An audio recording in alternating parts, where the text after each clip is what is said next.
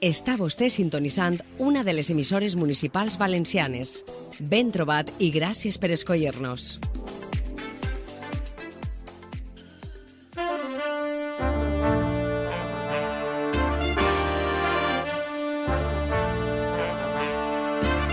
Així comença La Represa, un programa de debat, de diàleg, de reflexió i d'introspecció. En definitiva, un programa de trellat.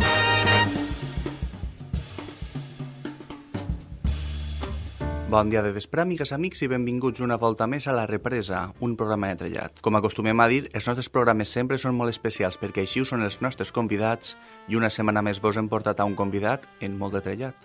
Jo, jo sóc Vicent Diego Ramon, jo vaig néixer l'any 38, eh, vinc d'una família, mon pare era botiguer, de, en Catarroja, creix en una família molt agradable de quatre germans, em case en Conxa, mestra, tinc dos filles, Lourdes i Glòria, i un fill Vicent, i actualment vuit nets.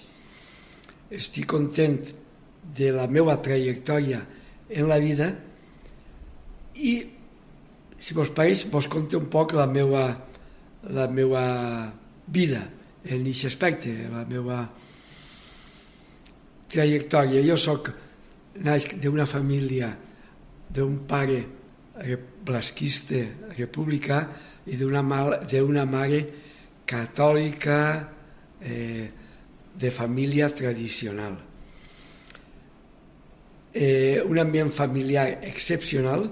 En aquesta botiga teníem un dependent que ha sigut ho ha sabut després de morir ell, que morí fa, fa 14 o 15 anys, que ell és que ha sigut més el nostre tutor.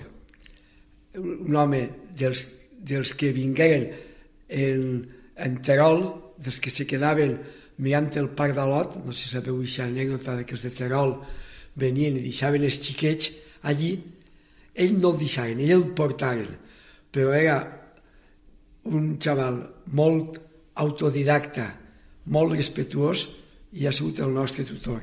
Pepe, que per nosaltres ha sigut més que un germà, més que un tio, més que un cosí, un més de la família i un gran educador junt als nostres pares. Vaig estar en l'acció catòlica tradicional, ja de xicotet, en fi, eh, vaig estar en el moviment d'aspiantats d'acció catòlica, eh, president i després delegat diocesà i participant en els campaments júniors que fem els júniors junts en els scouts.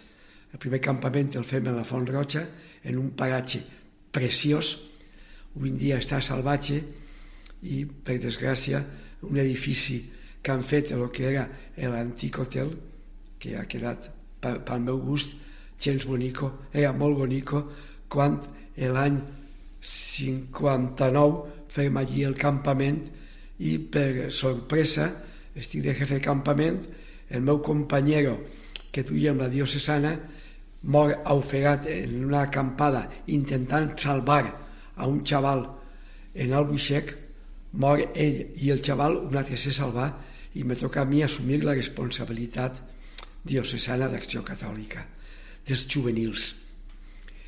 Que l'any següent, seria el 60 o 61, eh, queda unit en la XARC, que és un moviment d'acció catòlica dels moviments especialitzats, junt a la XOC, la GIC, i que eren moviments de la ciutat i la XEC universitària, i ahir comença jo una nova etapa que, és, que naixia en València, venguda de, sobretot de, dels moviments especialitzats del centre de Madrid, País Basc i Catalunya i d'Europa.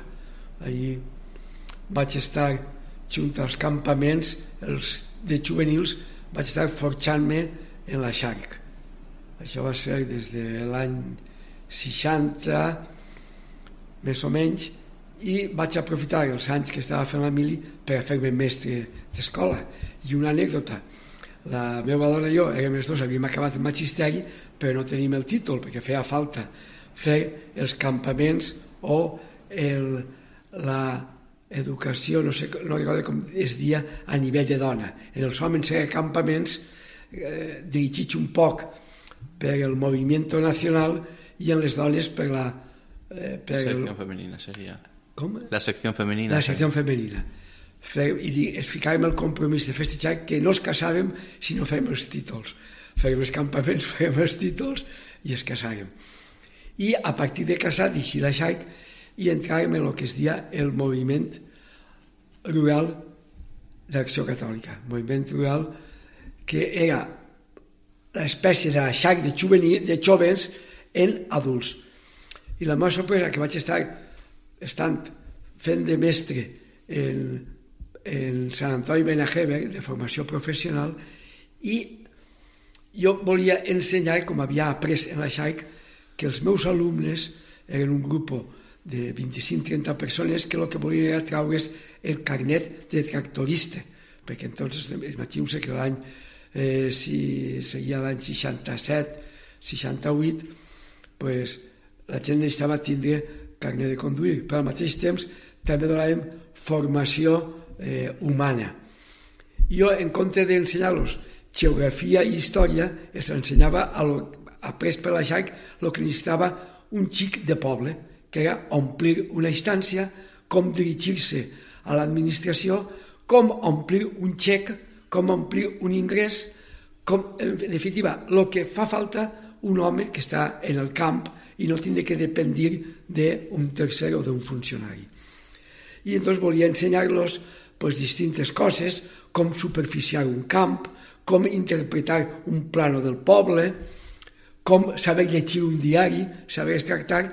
Entonces tenia, per mig de la xarc, un amic que era Pepe Soriano, que era periodista, i el vaig convidar perquè explicara als xavals el que era un periòdic i com es feia.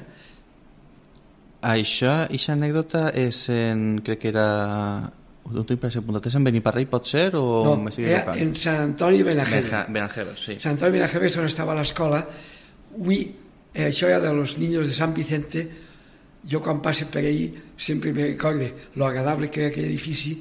Continua sent i crec que ara és una residència de tercera edat, està molt ben ubicat en el poble de Sant Antoni Benajever. I també per a superficial vaig tenir un amic que diuen Antoni Ferrer, arquitecto, que els explica el que era un plano, com superficial, etc. I ahir Pepe Soriano me suggereix, atent, jo tinc amics que volem casar-se, tu entens de construcció, per què no podem fer una algo en viviendes en pla cooperatiu. Dic, ja, però és que cooperatius són agrícoles. Diu, dinem un dia i parlem. Les monxetes mos preparen un dinar, com els més alumnes, i estarem Antoni Ferrer, Pepe Soriano i jo preparant com podria ser una cooperativa de vivendes. I jo els vaig dir que havia tingut una experiència dirigint una cooperativa en, en Beniparell. Beniparell és un poble que està a costat de ma casa, i allí per mig dels germans eh, Pons Alcoi, Paco i, i Juan Antonio i Alberto, que havia Alberto de l'Om que estos són els, de, els dels frutosecs, no? Els d'Importaco. Els d'Importaco. Avui són una gran empresa, i ha una empresa prou bé. Avui és la gran empresa, per desgràcia els dos han faltat, eh, hem sigut molt amics i encara mantenem el contacte en les seues ex-esposes i les nostres si es vegem cada X temps per recordar aquells temps tan agradables. I aquella experiència cooperativa dels anys 66-67 ens va servir per veure com fer la cooperativa, una cooperativa. I d'ahir fèiem la, o intentàvem ajudar en altres, juntar altres amics la cooperativa de vivendes populars Covipo que començàvem en un grup d'amics que necessitaven casar-se i no volien, eh, no tenien prou per pagar la vivenda a comprar i no la volien, no volien especular, eh, no volien traure eh, el seu fruit per a ells, el que és una cooperativa, i feien les primeres 20 vivendes en, en Alaquàs, en uns amics, una experiència que és que molt bé, i a partir d'ahir començàrem a reunir-nos en alguns eh, volguem incorporar-se uns que en tenien d'administració. I clar, el tema estava prou, el teníem prou complet a anys vista. El que ara avui són les gestores de cooperatives. Teníem un, un professor mercantil, el que avui és economista, que era Paco Pons, el president d'AVE i de moltes i d'empresarials i tal. Pepe Soriano, abogat. Antoni Ferrer, arquitecto. Jo, que en tenia de construcció, m'havia deixat ja el, el magisteri i havia fet diverses promocions, ja sabia el món de la construcció. I altres persones que anaven incorporant-se, com Manolo Marco, Maria Amelia Vilanova, altres aparellaors, com l'Alberto, etc. I intentàvem fer un grup que diguem equip gerencial. L'equip gerencial diguem, ja, això, casualment per mig de la HAC hi havia un encontre així en València y diga, no, pero cooperativa, pues eso hay algunas cosas en, en el País Vasco, en, en Mondragón. I digue, vai, pues anem sent les dones a l'estiu. Home, això va ser, no sé si ja era en la primavera, però primer la mare diu, no puc anar que m'he quedat embarassat. Acte seguit, Rosa, eh, Pepe, la Rosa, també embarassat. Toni Ferrer també embarassat. I Paco Pons també les dones embarassat. Els quatre. Total, que s'anàvem les tres soles. Paco Pons és que un compromís no pugui vindre. Anàvem a Mondragón, s'anàvem en un, en un dia en sis, el mateix que fèiem a Itàlia, al cap de quatre anys, tres o quatre anys, el mateix cotxe, se n'anem al País Basc, anem a veure a don José María d'Arizmendi Arieta, el gran mentor de, de Mondragón, i la nostra sorpresa que pleguem a Llisquerem d'ací a les 7 del matí i per plegar a, a Mondragón aplegàvem a les, a les 8 o a les 9 de la nit, o sigui, perquè aleshores, clar, naturalment, imagineu-se el que és d'ací allà, els, els 600 i pico quilòmetres, o 700. Anem a veure a don José María, i don José María està allí sentat, molts diuen, ah, sí, sí, ya sé que venía, y tal. ¿De dónde sois? De Valencia. Ah, muy bien. ¿Qué hacéis? Pues mira, estamos en cooperativa de viviendas. Tal. Ah, muy bien. Pues mira, ¿por dónde habéis venido? Pues mira, hemos venido por Zaragoza, o por la Almunia Llagovina, hasta aquí tal. Dice, bueno, pues ahora no, descansáis, mañana por la mañana os volvéis a Valencia y cuando tengáis cooperativas de trabajo asociado o cooperativas de crédito, volvéis a Mondragón a aprender. De viviendas se aprende poco. Imagineu-se la cara de nosaltres tres, cansadíssims. I això, diu, bueno, bueno, va, quedaos a cenar, os invito. La señora que estaba allí, diu, solo quedan dos huevos, digo, don José María, gracias, nos vamos a cenar y que estamos hambrientos. A l'endemà tornàrem, ens preparem unes visites estupendes, a, tant a, le, a les cooperatives de vivendes com a Fagor, com les, com les cooperatives de consum, com les Icastoles, com... En fi, veure tot el... que allò ens pareixia a nosaltres un món utòpic impossible de reproduir.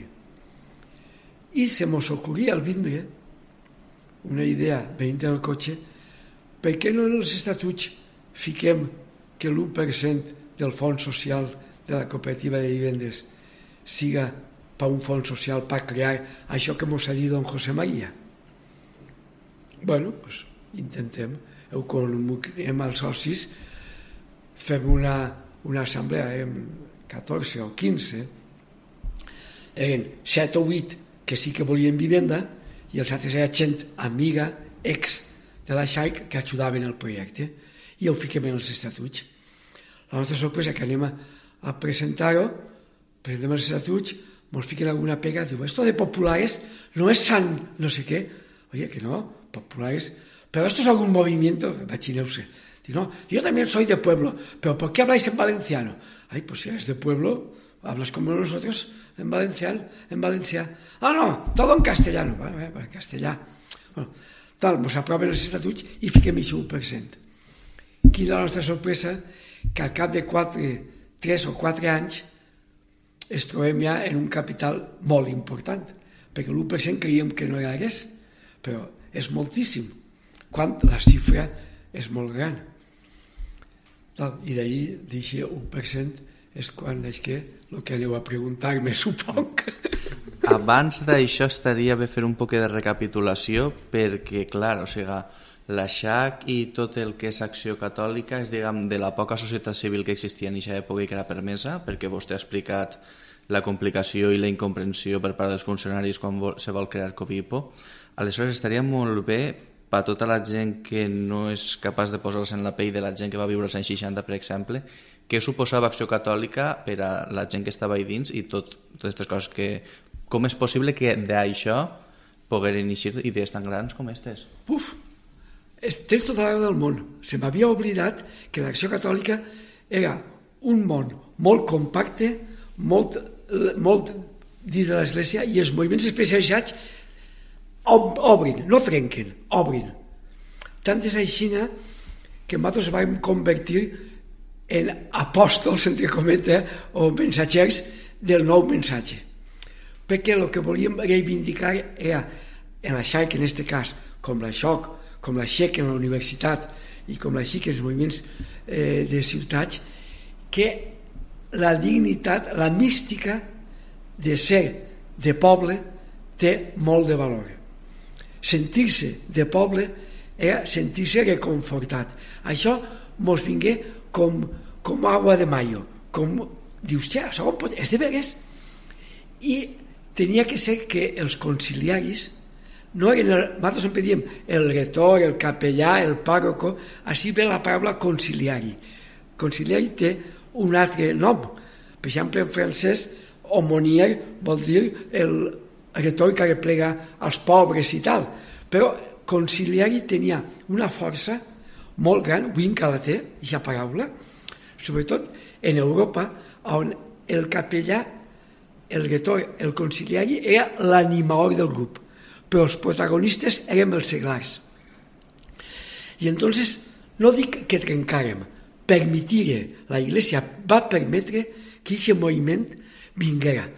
Això s'ha estudiat, està escrit alguna cosa, però encara no està prou ben fet en, tenim la història de la XAI, que vosaltres ja està al llibre, la història de don José Alba, que va ser el conciliari promotor de tot això, un capellà, una gran persona, un sant caminant, que este home va comprendre i va potenciar per a que els seglars, homes i dones, xics i xiques, poguérem fer junts. Recordo una anècdota que estaven, tio, érem predicadors d'això, els seglars, anàvem per ahir, jo era jove, i vaig, en, i me ho recordaven després que vos diré, en un altre moviment d'iglesia, també trencau com la xarc que he estat. Estic en Pinedo, la parròquia, dient per veure com podríem anar fent coses xics i xiques junts, perquè antes tot estava separat. I jo dic, i tenim que pensar com fem, érem uns 30 o 40 els auditors, nosaltres érem dos o tres els que anàvem a... Què podem fer junts, xics i xiques? I ens vingué un esclatat de, de risa, tot el món diu moltes coses, i tots se referíem al que volíem dir, però a mi m'és que aquesta paraula sense saber lo que, la connotació que té per als valencians. No sé si pels andalusos també té, però per als valencians té una connotació, nosaltres no havíem nascut, molt gran, perquè clar, entonces l'únic que podíem fer xics i xiques junts era anar a ballar o alguna cosa més, però fer un projecte comú era molt difícil i més dins d'Iglésia. Això recorde, perquè al cap de 20 anys, en una reunió dels centres de preparació al matrimoni, on la Madonna i jo estàvem, també era un grup que tenia la mateixa metodologia i casualment es van veure en un encontre en Brussel·les, els francesos, els belgues, els italians i els espanyols, allí érem la meitat dels matrimonis que havíem estat en la xoc o en la xarc. Va ser una casualitat i entonces fet aquest encontre diocesà en una assemblea un me diu, com jo no parlo bé la R me digué un de Pinedo que després s'havien casat ells dos, vinga i me diu, tu eres el que vingués a dir el que poden fer els xics i xiques junts. Jo ni me'n recordava, al cap de 20 anys m'ho va dir estos xicots de Pinedó. Vull dir que la xaica en aquest aspecte va ser el que ficar la possibilitat de que les persones del món rural, agricultors i no agricultors, pogueren fer endavant. Tant és així que quan fèrem la història de la Xaic en un encontre, on organitzàvem els que havíem sigut de la Xaic, n'hi hagué dos testimonis que a mi van impactar. Un xicot d'Oliva que va dir gràcies a la Xaic he sigut mestre d'escola i continué sent mestre d'escola perquè me va promocionar per poder estudiar. I una xica que va dir me'n recordo, una xica que era de, de la Valldigna, que va dir gràcies a la Xaic jo pugui dir als meus pares que jo volia fer algo més que ser una ama de casa i he sigut el que he volgut en esta vida, professora, etc. Que dic que la Xaic va ser un moviment que només que durar que 10 anys escassos, en València que ha continuat un poc més, perquè es va dissoldre en l'any 67 a nivell els, la conferència episcopal tingué por per mi. Jo recordo perquè venint de viatge de nòvios passejant per la Porta del Sol vaig veure al conciliari de la Xarc i al conciliari de la Xoc. La Xoc era de València José Antonio i de la Xarc que era d'Euskadi. I es veig i es presenta a la meva dona jo haguéssim vingut de viatge de nòvios. Què tal? es felicita i es, es ves, jo ja havia fet dos anys que havia deixat la HAC y diu, no nos felicites, venimos ahora de coger las maletas de Alfonso XI, que era la casa de la iglesia, en frente del, del parque del Retiro, porque la iglesia, la conferencia, va a disolver los movimientos apostólicos o los va, si no a disolver, a, a, a diluir. Però en València que continuar un parell d'anys perquè l'obispo González Moralejo volgué mantindre-ho, i en fi, va ser. Però desaparegué pronte i anar per uns altres derroteros que això teu, vos ho contaran altres. Així n'ha passat. Sí. Un apunt. Ahir ja apareixen les idees de cooperativisme? No, no. Les idees, les idees de cooperativisme apareixen. El nou cooperativisme, eh? El cooperativisme en València, com sabeu, té més de 100 anys d'història, agrícola, en viviendes i tal. Esta, esta nova etapa naix més o menys a partir de lo que vos ha dit jo de l'any 70 quan en Sant Antoni de Benajever eh, fem esta proposta de, de Covipo i de Covipo naixen altres activitats que vos contaré o si sí, sí. I diguem en este grup, eh, vostè ha, ha comentat no, el cas de, de este, com es diu, de, de Soriano Bueso i tot això. Beso. Ah, perdó. Eh, vostè ha comentat el cas de Soriano Beso, que és gent que estava vinculada amb el valencianisme. Sí, sí, estem vinculats tots, això sí que és de veres, eh? Ell més, ell més, més que jo, però, sí, ell me va ajudar, per exemple, jo, per casar-me, volia casar-me en valencià i no hi havia manera de poder ser. I vaig tenir que pagar una, una pòlissa de tres pessetes per demanar permís i que és el que són les coses. Al cap de tants anys, el que són les coses. Al cap de tants anys, el que mos va casar, que va ser don José Alba, i Margarit, Eduardo Margarit, i Joaquín Escrivà, Margarit, que demanava el certificat, després va ser picari episcopal, va ser la figura, el que manava més, que manava més en l'arxobispat, el món pega unes voltes. I va ser l'home que feu possible, després vos contaré lo de Florida, que tinguem que fer-ho en un patronat, i era un patronat d'iglesia, i nosaltres no volíem que fos d'iglesia. Primer ens ajudar que fos d'iglesia don José Alba, perquè ho havíem demanat gent que havíem estat en la HARC, al cap de 10, ja feia 10 anys, tots ja érem molt més majors, però després Florida no volia tindre ninguna vinculació i volia convertir-se en cooperativa i gràcies a don Eduardo Margarit ens feu el favor de que eh, Vaticano donara el, el vistiplau per eh, deixar que se fora patronato i convertir-se en cooperativa. Fi, això és un parèntesi, però les persones són el que són. Continuem amb el parèntesi i continuem amb el valencianisme perquè també de gent vinculada a, a tots aquests moviments més renovadors de, de l'Església Catòlica també apareix la Unió Democràtica al País Valencià. També és una casualitat, eh? eh jo crec que la Unió Democràtica Eh, si vols parlem de la Unió Democràtica, que del que jo sóc eh, prou fundador. Eh, hi havia un grup molt nacionalista de la universitat, encapçalat per Vicent, Miquel i Diego, un altre grup, hereus de l'antiga regional valenciana, que capitanejat per don Joaquín Maldonado Almenar, una gran persona, i un grup capitanejat per Vicent Lluís Monraval, que després seguia el secretari general d'Unió Democràtica de, del País Valencià. Entonces, Vicent Lluís Monraval teníem inquietuds socials i creem una organització que es diu Prolesa, Promoció de Lectures perquè fora eh, en fi, una, una pantalla. I a Prolesa eh, es reunim en Madrid gent que havia estat en la XOC, la HAC, gent que havia estat en la HEC i gent de la HAC, una casualitat. El 90%, alguns no, però el 90% veníem dels moviments especialitzats. Els unim i creem aquesta associació.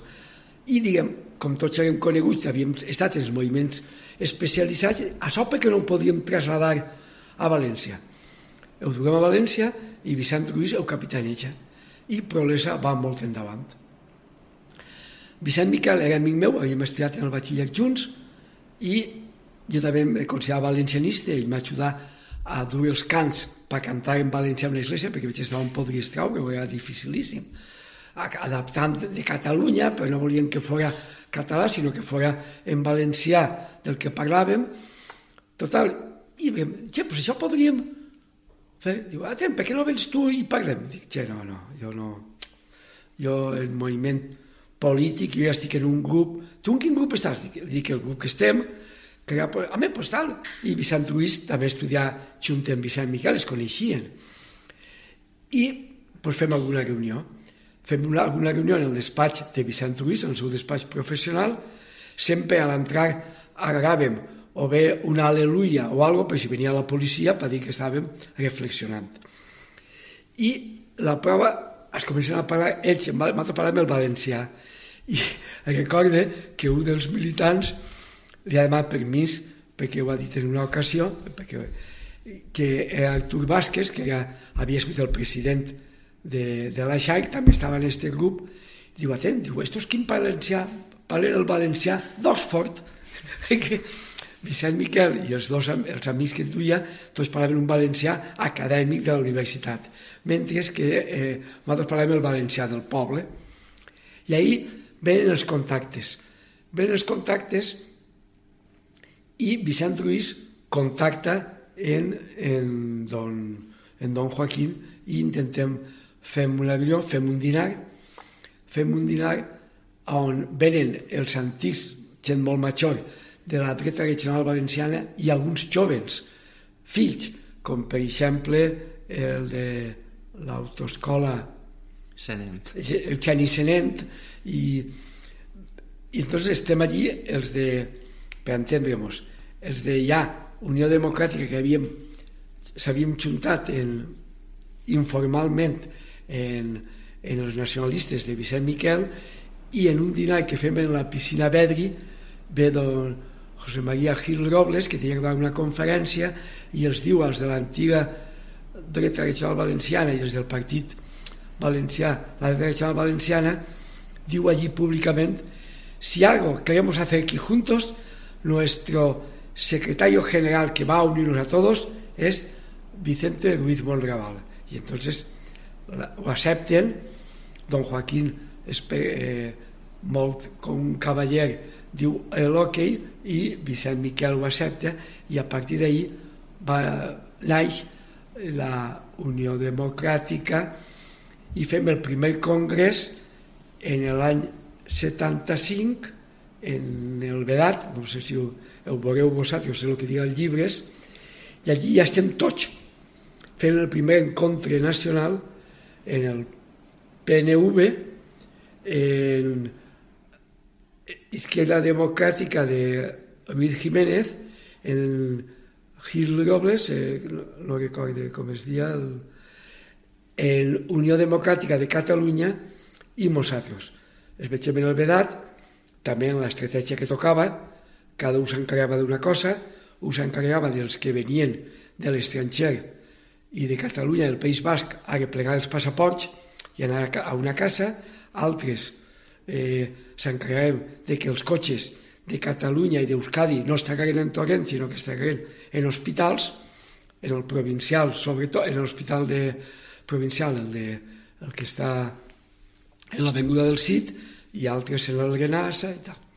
I allí serem tots i allí eixim tots. I fem el comunicat a Radio Pirenaica y la sorpresa es que el gobernador civil, hombre, ¿cómo hacéis esto? Si habéis dicho, mí, yo soy partidario de l'apertura. Però diu, eh, qualsevol. I això ho direm tot després de les 6 de la vesprà, perquè ja saben tots fora de València, perquè no n'hi haurà ningú problema eh, de que la policia intervinguerà.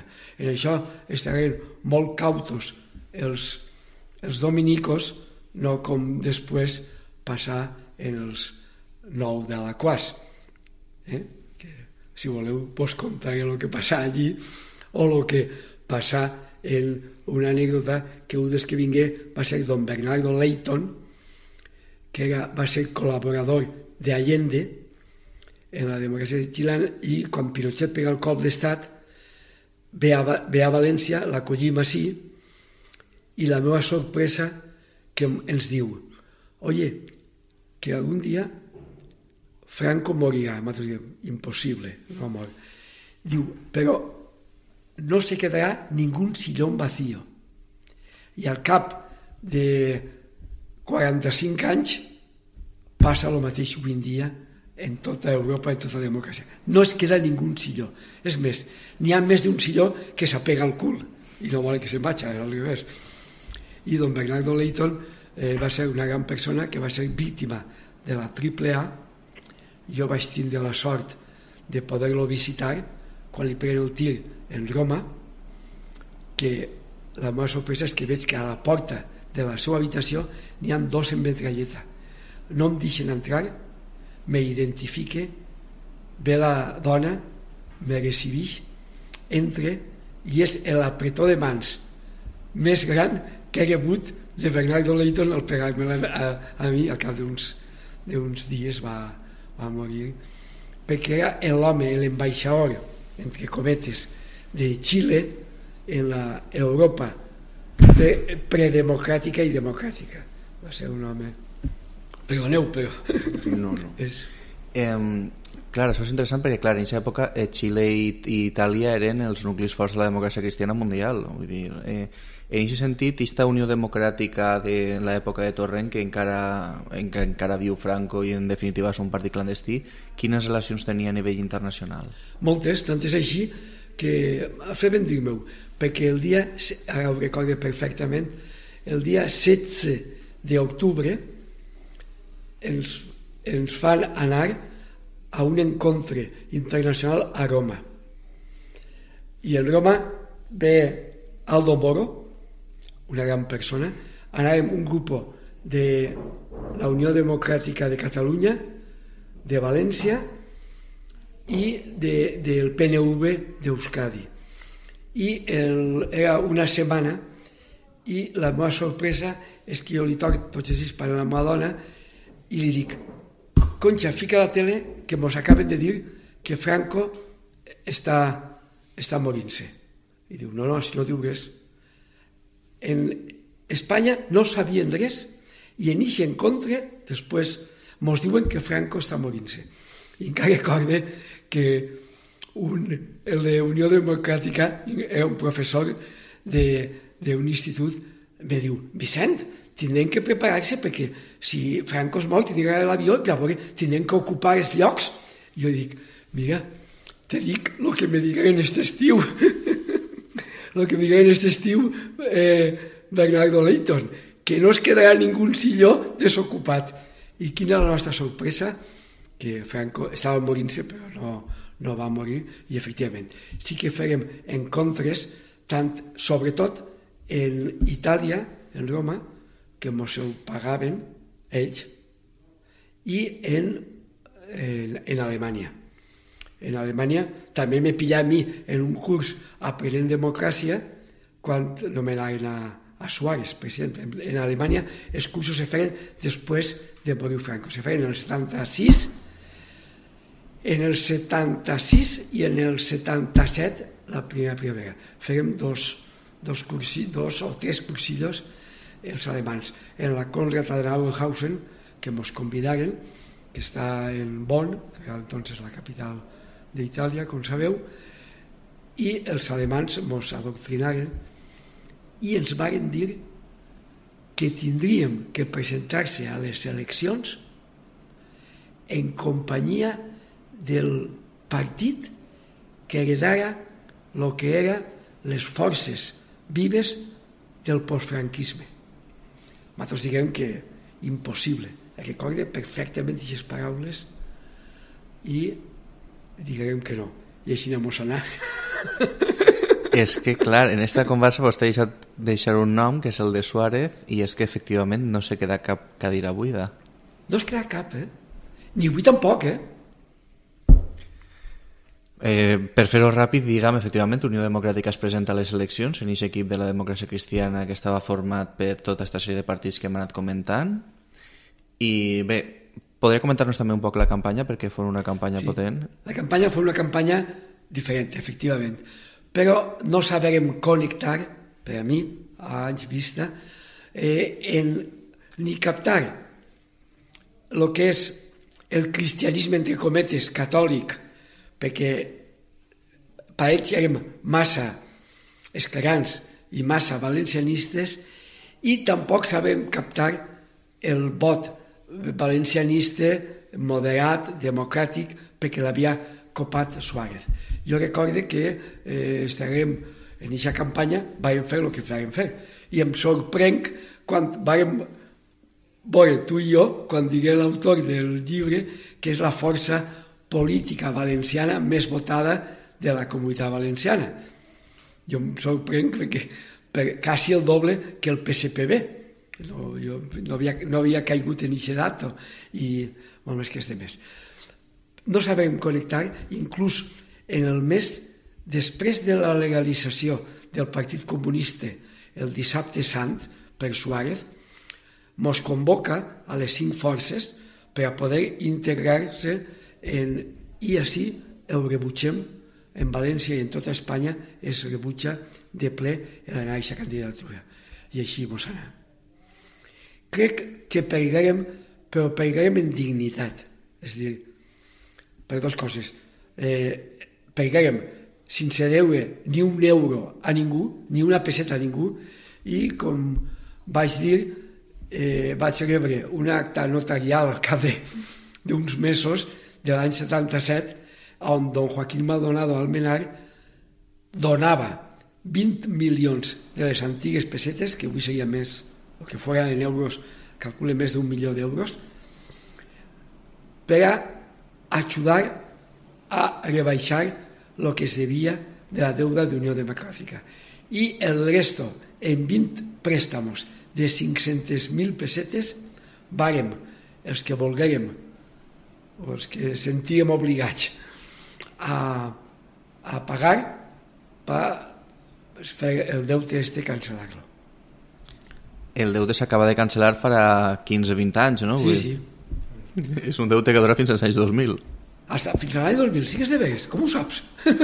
eh, crec que alguna volta s'ha comentat en premsa o alguna així, ah, sí? però sí, sí, sí. no sé si seria clavat el 2000 o el 99 o el 2001, no, sí, però... Sí, t'ho dic que sí, perquè jo que som, vaig ser un dels acreedors, vaig ser un dels deudors, perquè els, de, els deutes en l'any 77, 78 és quan se, quan se formalitzen, se formalitzen per pa 5 anys, però resulta que hi havia gent que no havia pogut pagar i sabia que tenia uns saldos pendents i don Joaquín Maldonado, el fill, diu, xe, això dia que es cancel·lara, intentem parlar en els serveis jurídics de la caixa i, i pagarem el nominal i tal. Jo sé que ahir m'he tocat una quantitat, vaig tocar alguna porta d'algun amic antic militant, la part que me toca a mi, i es va cancel·lar la part nostra per dir el servei i diu, sí, sí, si usted liquida el nominal, queda cancelado. Es, es va cancel·lar el deute pues, molts anys després de que havia acabat, sí. També, això és una xicoteta anècdota, però aquest deute damunt va créixer perquè crec que Unió Democràtica és com a que va finançar també la campanya del PSPB perquè contratava gent del PSPB per a que enganxara cartells i això. Això no ho tinc tot tan clar, jo. Pot ser que sigui així, però no, no ho tinc tan clar. Que contratàvem a gent per a que feia publicitat d'això sí que, sí que és de veres, però que fora concretament d'un part... no ho sé Eh? A més, jo era coordinador de campanya, eh? que jo era el que eh, sabia prou d'això. Val, doncs l'experiment de Unió Democràtica al País Valencià finalitzar com finalitzar. Eh, no estigui lluny de, tirar, de treure un diputat, però sens dubte fon molt menys de lo, de lo esperat, perquè és una campanya que també s'ha comentat molt no? que hi havia com un, jingle, un single, un, hi havia com un disc en l'himne del partit que sí. després no s'ha pogut recuperar mai. Exacte, sí. Jo el tinc per casa, però bé, doncs el puc facilitar, veure si... Sí. Seria un document perquè això, és que aquest disc la gent el busca, o sigui, jo recorde fa 15 anys quan jo estava fent la, la ESO, el meu professor d'història com quan parlava de la transició deia, i encara me'n recordo un poc de la melodia de, del... Unió Democràtica del País Valencià, sí, sí, sí, jo el tinc ahí, que jo el cantaré, segur. I això, bé, és, és el, que, el que va passar en aquestes eleccions, que tot el món tenia clar que representava un, un projecte polític molt definit, però a l'hora de la veritat s'ho van repartir entre Suárez i, i Felipe. Exacte, així no va ser.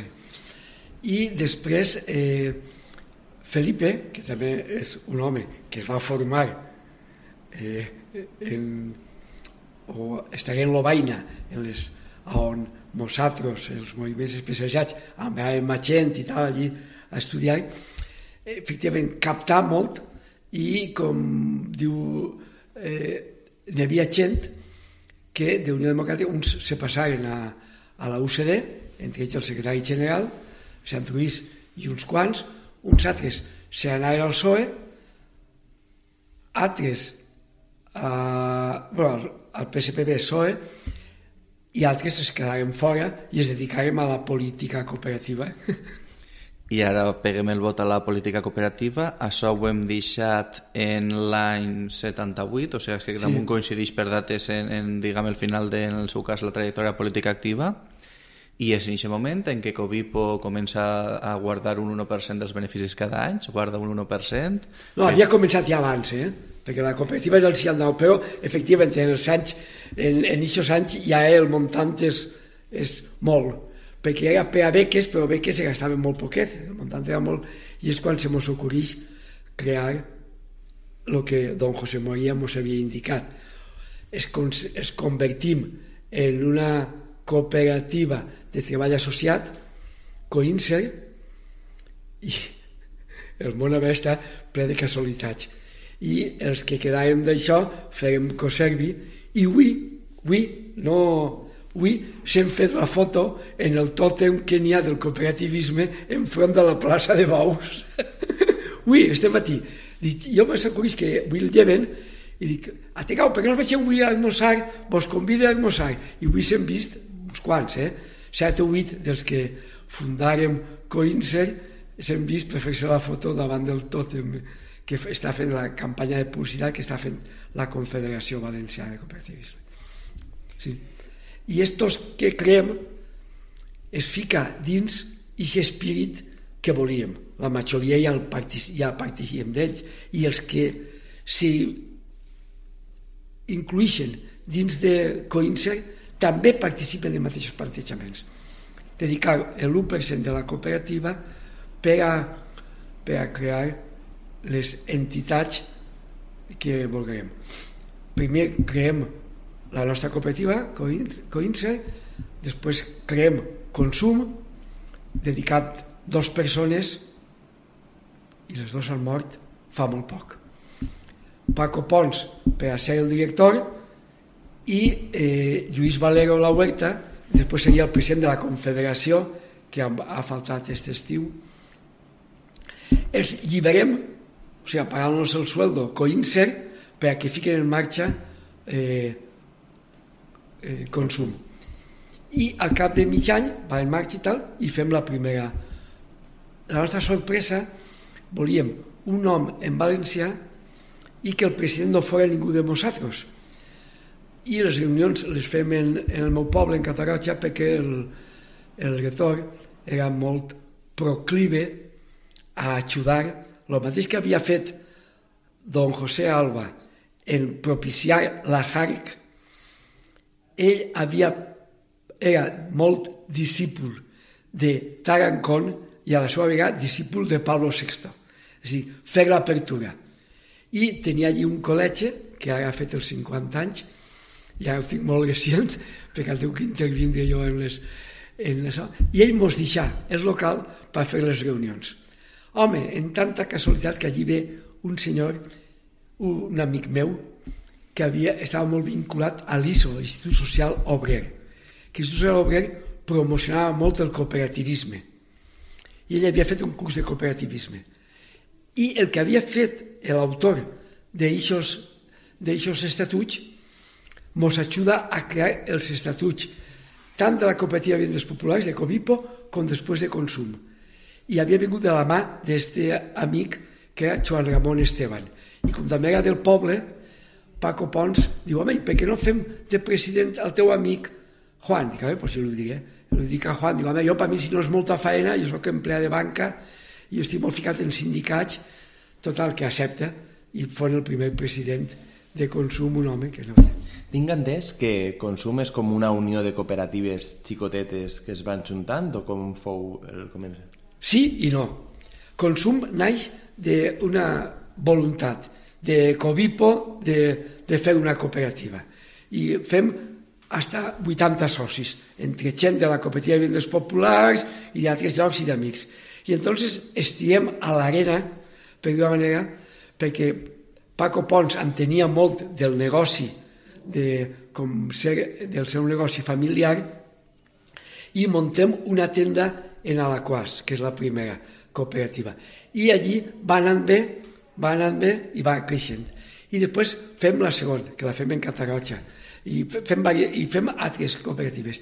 I després eh, entitats d'alimentació xicotetes van incorporant-se, i algunes molt grans, com Jovac o com altres però és molt posterior.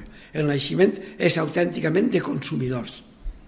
I el nom és allò que comentava del viatge a Roma a l'encontre de... Que coincidia en el viatge que fem per veure, els estius aprofitaven per fer el cooperativisme en Europa.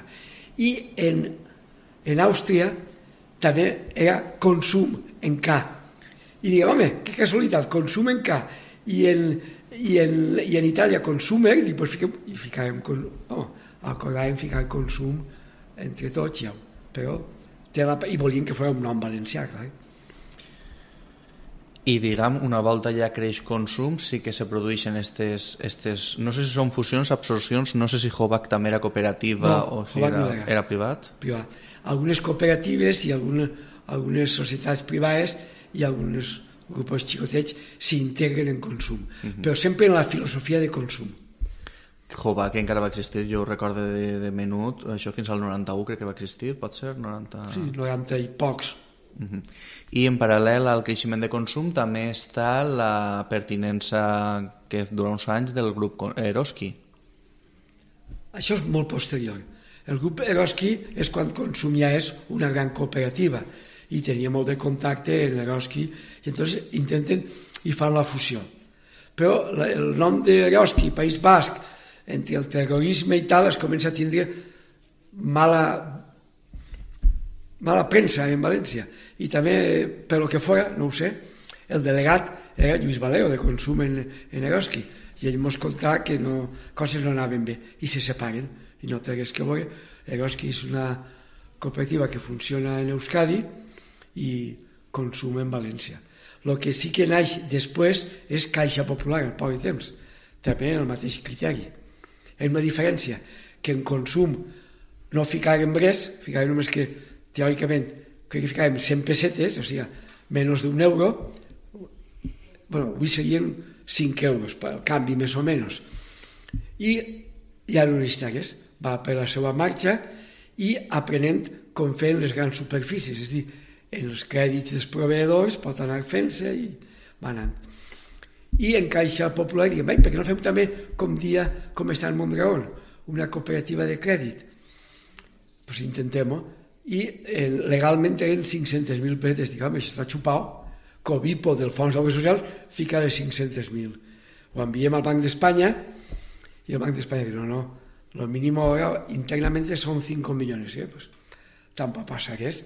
5 milions, nosaltres ja teníem quasi els 5 milions de pessetes ficats, però convé que no sigui d'una única entitat que tingui el 30% màxim. Doncs pues els socis de Coinser fiquem 200.000 cada un. Dic, així, eh, 12, eh, 15 o 16, o sigui que són 200.000, doncs ja són quasi 3 milions, Popular fica 2 milions, doncs ja tenim prou. I serem eixa capital, i serem els tres en el cotxe, Pepe Soriano, Paco Pons i jo, al Banc d'Espanya, i gràcies, los estatutos, está muy bien, ah, muy bien, está bien. Y miren, las normas han cambiado. En lugar de 5 millones son 50 millones de pesetas. Mare meua, mare meua, què fem? Tal. Ja, Caixa Popular volem obrir i anem avant. Anem avant. I els diguem sí. Sí. Eh? I quan baixem, tinc la imatge, baixant per les escales del Banc d'Espanya, una alfombra, edifici que està allí en Cibeles. Oiga, venga, venga un momento. Diu, pero de los 50 millones tiene que ser aportación propia y no de depósitos de terceros. Mare meua. Venim així, fem l'assemblea i tenim un capital, cada un en coincer prou, prou bé. I diguem, doncs mira, fem dues coses. Una, als socis de la cooperativa de vivendes fiquem que cada promoció siga 5.000 pessetes per soci, que siga retornable. Nosaltres i les nostres dones, nosaltres tenim les 200.000, les nostres dones que fiquen els 200.000 del capital que tenim propi de Coinsa, o sigui, el capital nostre que podíem dispondre. I així complementem. I efectivament apleguem els 50 milions sense tocar un euro de depòsits de tercers, que això és el que més mirava el Banc d'Espanya. Tinguem diverses visites del Banc d'Espanya i obríem la primera oficina en, en consum, en Alaquàs, en un despatxet. Jo recordo, jo sóc esportista, i l'inspector del Banc d'Espanya venia pues, per pa dissoldre, no? pa... i ell me diu, dic, oye, com, clar, yo dic, a este para que el convide, para voy con Digo, mira, no puedo decirte nada, pero te digo que el, el inspector que viene conmigo ve que no estáis engañando a nadie ni os aprovecháis de nada. Lo único que puedo decirte. I efectivament, nosaltres érem transparents, hi ha gent que no volíem aprofitar-se de ningú. I el primer que havíem acordat en el Consell Director és que entre nosaltres ni les nostres famílies anem a fer-se ningú crèdit.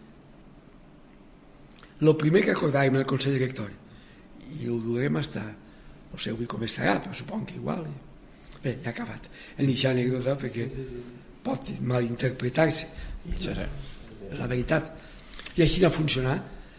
Funcionar hasta que els crèdits que teníem nosaltres, en compte de tornar-nos-el, se feu una cooperativa, eh, podem dir, de, de segon grau, de segon grau eh? i allà eh, li diem esplai i ahir ficàvem els diners i després els diners cada un s'ha recuperat quan ha volgut ja, perquè capital seu i als 5 anys ja podia recuperar-los. En fi, això és un altre tema que no sé el que va fer la gent. I diguem, eh, això és la primera oficina del Popular. La primera oficina de la Caixa Popular eh, es en fa. Es en, fa Alaquàs, en, el, en el consum. en el consum, en un despatxet allí fiquem un pagavant i allí estava el director de consum. I després obrim en el Daia i jo recorde que ficàvem un eslògan que avui ja no és tan popular, i el ficàvem allí que hi ha els diners del poble per al poble. Tenia un poc de demagògia, però, però no, després ho llevàrem i tot això. Sí. I, i diguem d'això, s'ha de una aportació inicial que era important i una oficineta eh, al costat d'un supermercat, ahir es creix a una entitat que, pues això, ara que són 200-300 oficines en València o... Moltes, l'únic que puc dir-te és que eh, cada trimestre, cada semestre, cada banc tanca oficines i Caixa Popular cada, cada semestre n'obri una. Està creixent, està duent els mateixos principis, això sí que és important, jo pel que veig en els que, en els que estan dirigint ara estan duent el mateix que quan nosaltres començàrem. El primer consell que començàrem en, en Caixa. I de, de Coinser deleguem pa gerent de consum Paco Pons i pa director general de Caixa Popular a Pepe Soriano. I jo me quedé en vivendes. I després queda l'altra pata, que és la de l'educació. Sí. L'educació naix un poc després, al mateix temps,